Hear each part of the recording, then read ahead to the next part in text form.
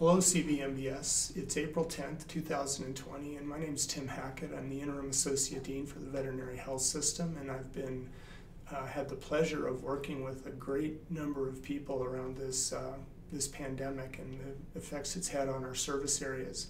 What I wanted to do today was take you on a bit of a tour of the veterinary health system, highlighting the facilities here on the South Campus and on the Foothills campus, and show you firsthand how, um, how our staff are dealing with the staffing shortages, the lack of students, the need to do online education. It's been, uh, it's been a tremendous process to be part of. It's, you know, it's surreal, but it's, uh, it's great going through this with all of you. It's just been amazing the creativity and the teamwork and all that's been going on. So I walked around with the camera yesterday, that was Thursday, to try to capture what was going on and I wanted to share that with you. But let's start with just a tour of the, the South Campus and then we'll move over to Foothills and show you, show you how our day went yesterday. Thanks.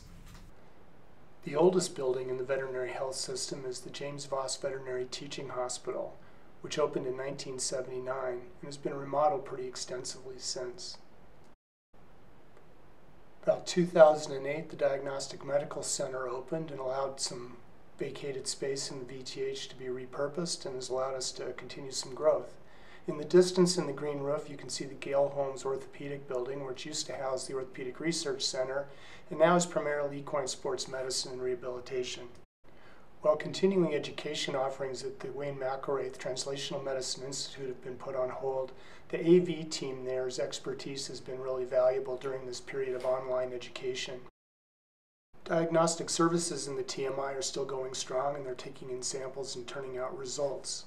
Researchers in the TMI and at the Orthopedic Research Laboratory just below us here are facing the same problems as those around the college and around the campus. And behind the Equine Performance Analysis Facility, you can see land being cleared for the Johnson Family Equine Hospital. The veterinary health system is bigger than just the veterinary health complex. On the Foothills campus, we have the Bud and Joe Adams Equine Reproduction Laboratory. The SARS-2 outbreak hit right about the time the foaling season was at its peak. Dr. Christina Devine and Dr. Jen Hatzel are just having another day at the ERL, except for the PPE, you wouldn't know any difference. 11 months ago, these veterinarians and these mares had no idea that we'd be facing a worldwide pandemic. But here they are, another successful foaling season at the ERL. Like all of the service areas within the veterinary health system, the ERL is trying to get by with minimal staffing, working shifts, trying to take care of people, and trying to take advantage of all the resources of the health system where we can bring in people with experience to fill some of these roles formerly filled by students and other employees who can't make it to work. Let's head back to the veterinary health complex to see how we're dealing with our regular day.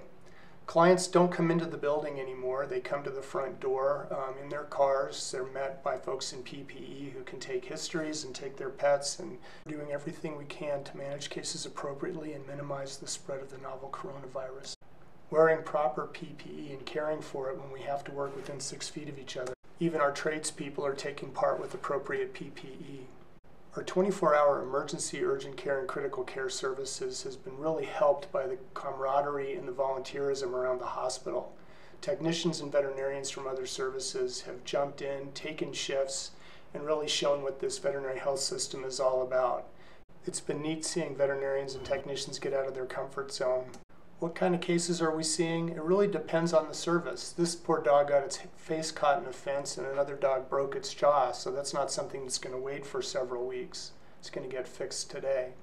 Right around the corner from dentistry, our orthopedic surgery team, doctors Palmer, Culbertson, and Chu, are taking care of a bandage change. That may not sound like an emergency, but when it's a bandage wrapped around an external fixator in a cat, it's not something that can wait. This team has also gotten a lot of praise from fourth year students who have taken part in their online rounds, the way that the clinicians all across the hospital are keeping students engaged in the cases that are going on that we're seeing and continuing to see throughout the hospital.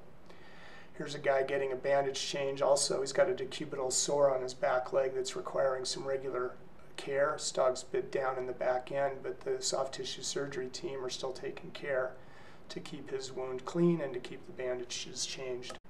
Dr. Chan and Dr. Webb are doing I don't know what. Dr. Webb's about to tell us something, but I can't understand a word he's saying with his mask on. I can't read lips either. Across the hospital, faculty, house officers, technicians, student hourlies are all taking care of the patients that are still coming to our door. This hypoproteinemic dog seeing internal medicine. Where there would normally be two services, one service is generally seeing patients while the other service handles the online teaching for the fourth year veterinary student. Here, Jake Davis is live streaming a surgery that Dr. Monet is performing on a pig with an intestinal obstruction. He's trying to explain to me with his mask on, and I can't understand a word he's saying. But what I do know is that the students are on a Microsoft Teams site, and the whole operation is being narrated by another faculty surgeon.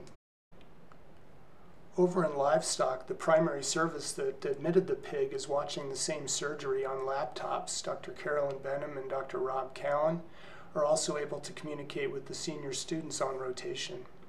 It was a busy day over in the hybrid operating room where they had two young dogs with congenital heart defects with both severe signs of heart failure that brought in the entire cardiology and anesthesia team to deal with these today.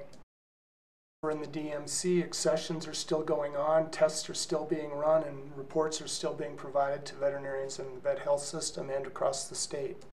Across the hospital, people are social distancing and finding out that PPE is not just for the biosafety level 3 laboratory folks upstairs.